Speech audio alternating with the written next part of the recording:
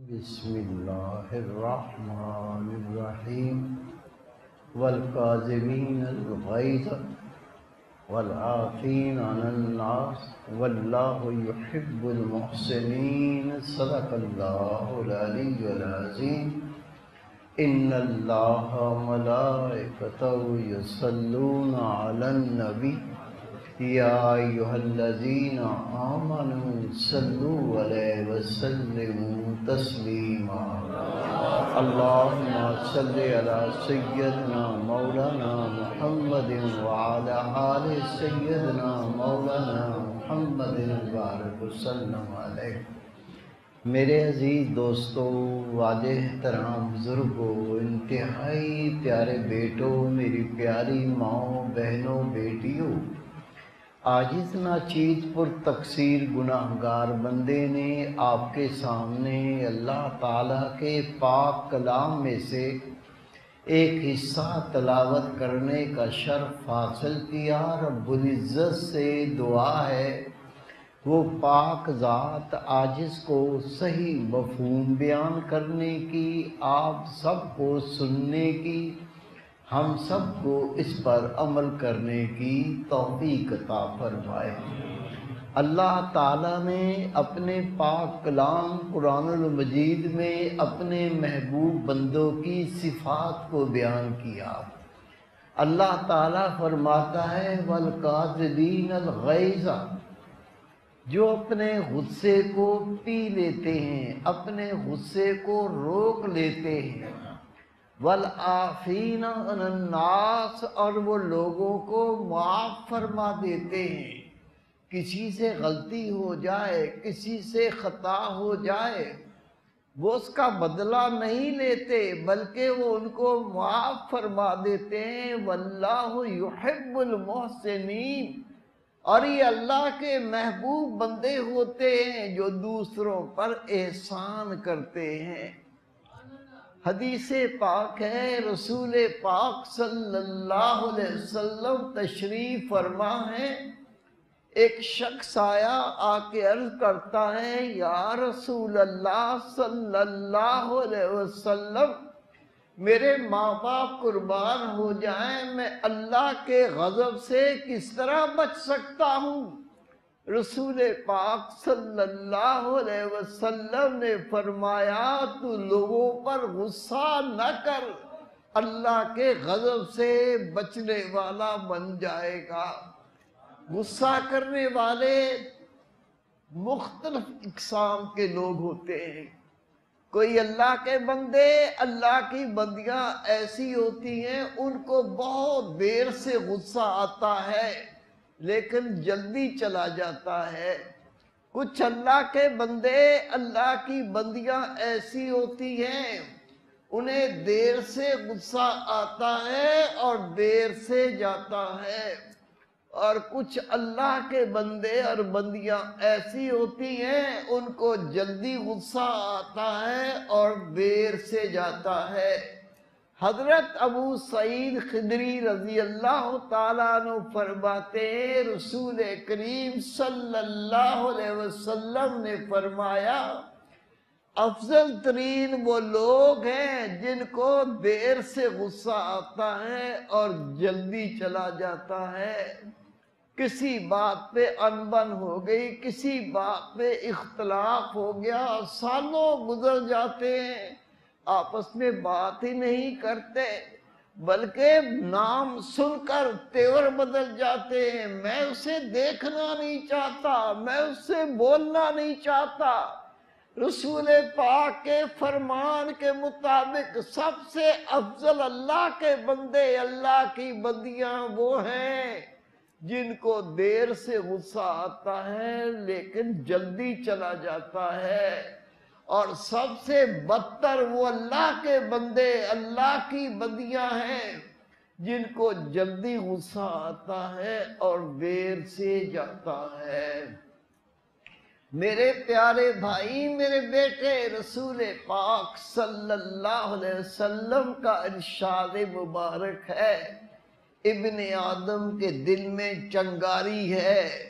क्या तुम नहीं देखते जब किसी को गुस्सा आता है, उसकी आँखें लाल सुर्ख हो जाती हैं और गर्दन की रगें फूल जाती हैं? अल्लाह के महबूब ने फरमाया, अगर तुम में से किसी की ये हालत हो, वो खड़ा हो तो बैठ जाए।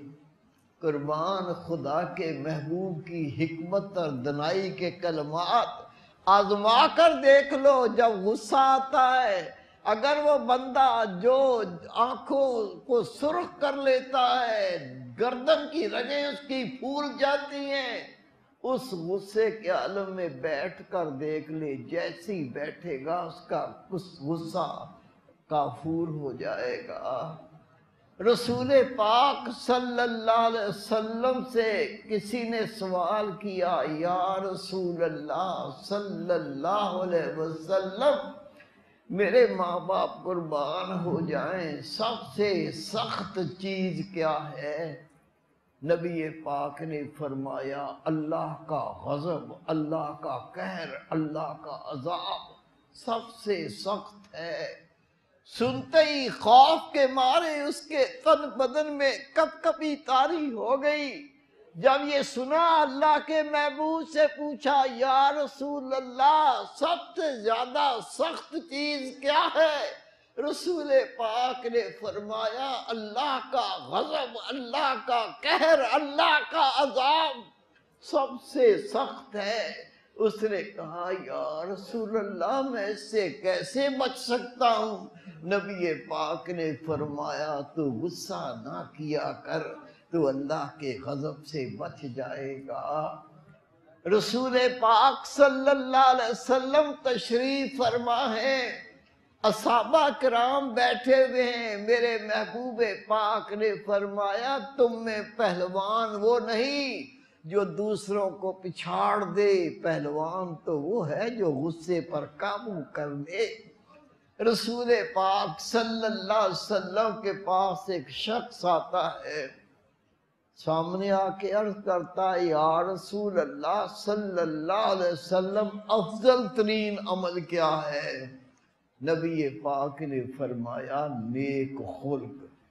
वो दाएँ तरफ़ से आया, अर्ज़ करता है, आका, अफजल तरीन अमल क्या है? रसूल पाक ने फरमाया, नेक खुल वो बाएँ तरफ़ से आया, उसने अर्ज़ की आका अफजल तरीन अमल क्या है? रसूल पाक ने फरमाया, नेक खुल्क, हदीस पाक है। हर तरफ़ से आकर उसने यही सवाल किया, या रसूल अल्लाह अफजल तरीन अमल क्या है? रसूल पाक ने फरमाया, नेक खुल्क। वो फिर सामने से आ गया, फिर अपना सवाल दोहराया या रसूल अल्लाह अफजल तरीन अमल क्या है? रसूल पाक ने फरमाया, नेक खुल्क और सुन, नेक खुल्क ये है, तू गुस्सा ना करे। मेरे प्यारे भाई, मेरे बेटे, ये नेक खुल्क की तशरी रसूल पाक ने एक जुमले में फरमा दी कि नेक खुल्क ये है तो गुस्सा ना करे। रसूल पाक सल्लल्लाहु अलैहि वसल्लम, आप गुफ्तगु फरमाते थे, चेहरे पर मुस्कुराहट होती थी। हज़रत अब्दुल्ला इब्ने उमर रज़ी अल्लाह जब हदीस पाक बयान फरमाते थे आप बयान करते हुए आपके चेहरे पर मुस्कुराहट होती थी, किसी ने कहा, आप जब अहदीस मुबारक का दर्श देते हैं तो आपके चेहरे पर मुस्कुराहट होती है। अगर आप संजीदा हो के दर्श दें तो ज़्यादा मौसर साबित हो। आपने फरमाया, जब मेरे महबूब पाक गुफ्तगु फरमाया करते थे, आपके चेहरे पर मुस्कुराहट होती थी। मैं नबी पाक की बात ऐसी अदा करना चाहता हूँ जिस तरह मेरे प्यारे रसूल अदा करते थे।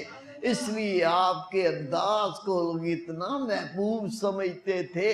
आपसे हदीस पाक सुनने के लिए बेताब और बेकरार रहा करते थे।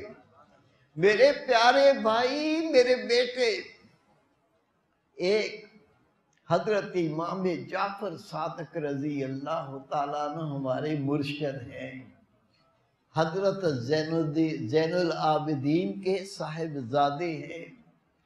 आपके बारे में हज़रत इब्राहिम ख्वास रहमतुल्लाह लिखते हैं। मैंने देखा, एक शख्स को चारों तरफ़ से घिरा हुआ है, कोई हाथों को बूसे देता है। कोई जिस्म पर हाथ रख कर अपने चेहरे पर मलता है, उस अल्लाह के वली की ताजीम में मुसाफा करने के लिए हर शख्स बेताब है। वो शख्स सफ़ा पहाड़ी पर चढ़ा, मैं दूसरी तरफ़ मौजूद था, मैंने आपको चढ़ते हुए देखा। सफ़ा पहाड़ी पे चढ़कर जब वो नीचे उतरे तो मैं पहले वहाँ मौजूद था। उस अल्लाह के वली ने दो रकत नमाज़, नफल अदा की और फिर अल्लाह से दुआ की, या अल्लाह, मेरे कपड़े बोसीदा हो गए हैं, मुझे नई पोशाक अता फरमा। या अल्लाह, मुझे तैयब रिज्क अता फरमा। इब्राहिम खास रहमतुल्लाह फरमाते, अल्लाह की कसम मैंने देखा, एक तश्त हवा में उड़ता हुआ आया।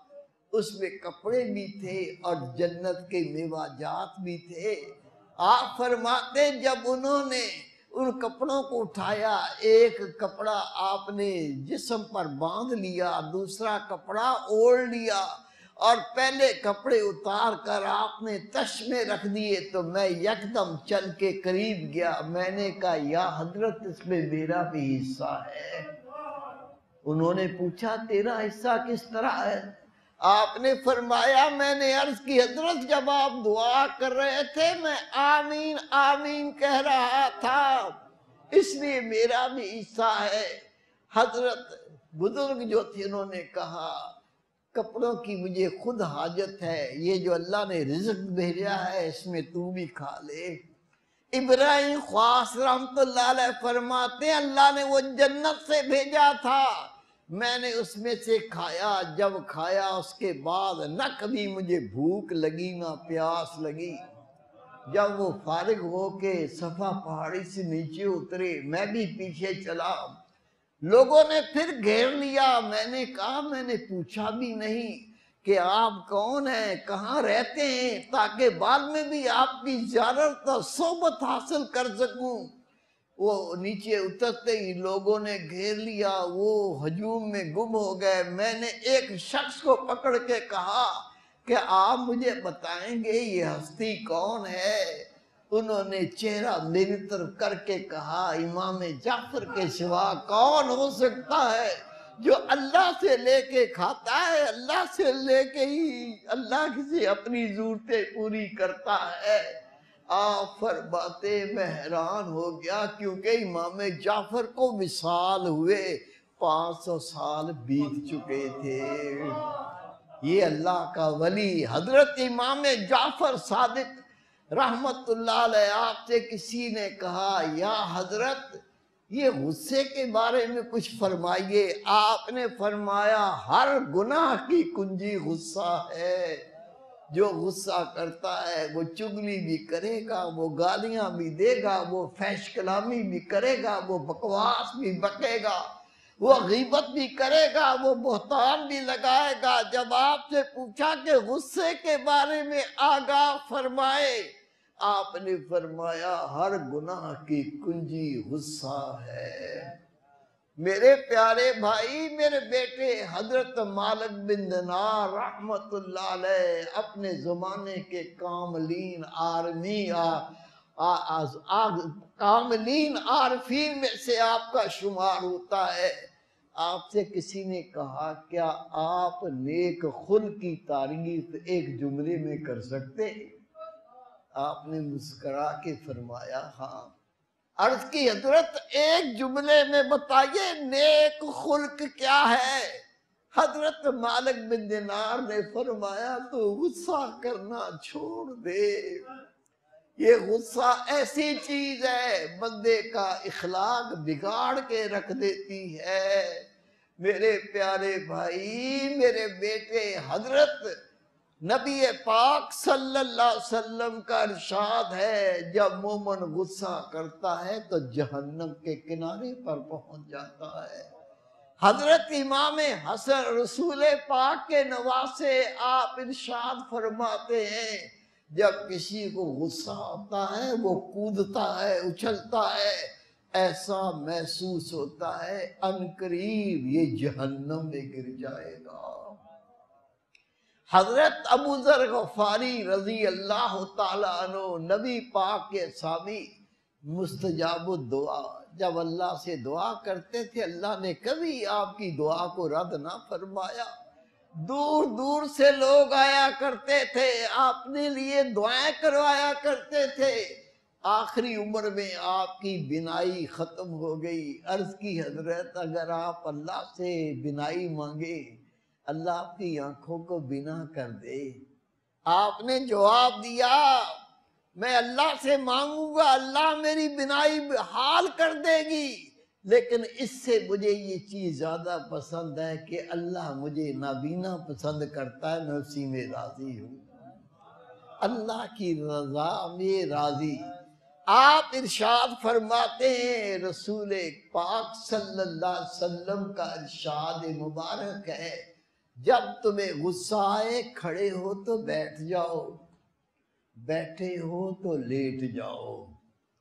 हज़रत बीबी अतिया रज़ी अल्लाह तहा रसूल पाक की असादी हैं, आप रवायत करती हैं कि रसूल पाक सल्लल्लाहु अलैहि वसल्लम ने इरशाद फरमाया, गुस्सा शैतान की तरफ़ से है। और अल्लाह ने शैतान को आग से पैदा फरमाया है, जब तुम्हें गुस्सा आए, तुम वज़ू कर लो। गुस्सा जाता रहेगा। रसूल पाक सल्लल्लाहु अलैहि का दौरे मुबारक है। हज़रत सुलेमान बिन सबर रज़ी अल्लाह तु नबी पाक के साबी हैं। आप फरमाते मैं अल्लाह के रसूल वसल्लम के साथ सफ़र में था दो अशखास आपस में लड़ पड़े। उन दोनों में से एक का हाल ये हुआ, उसका चेहरा सुर्ख हो गया। उसके गर्दन की रगें फूल गईं। अल्लाह के महबूब ने दोनों को देखा। देख के फरमाया, मुझे ऐसे जुमले का इल्म है। अगर ये शख्स जिसका गुस्से के आलम में चेहरा सुर्ख हो गया, गर्दन की रगें फट रही हैं, फूल गई हैं, अगर ये वो जुमला कह दे तो इसका गुस्सा जाता रहे। एक शख्स ये बात सुन रहा था। अर्ज़ की, या रसूल सल्लल्लाहु अलैहि वसल्लम वो जुमला क्या है? तो अल्लाह के महबूब सल्लल्लाहु अलैहि वसल्लम ने इरशाद फरमाया आउज बिल्लाहि मिनश इस शख्स ने जुमला सुना, चल के उसके पास चला गया। उसे कहा, भाई, क्या तुझे पता है कि रसूल करीम सल्लल्लाहु अलैहि वसल्लम ने क्या इरशाद फरमाया है? कहा नहीं। कहा, अल्लाह के महबूब ने इरशाद फरमाया है, ये शख्स जिसका गुस्से से चेहरा सुर्ख हो गया और गर्दन की रगे फूल गई, अगर ये कहे औज़बिल्लाहिमिनश्शैतानिर्रजीम तो इसका गुस्सा जाता रहेगा। उसका चेहरा और बिगड़ गया। कहता, तूने मुझे पागल समझा हुआ है। यानी अपने गुस्सा होने को वो हक बजानब समझता है। हम भी यही कहते हैं, लड़ पड़े, कोई सुलह कराना चाहे, उससे उलझ जाएँगे। कोई हमें चाहे कि हम लड़ाई से बाज आ जाएँ, उससे हम उलझ जाएँगे। मेरे भाई, ये नफ्स है, अमल शैतान की तरफ़ से है।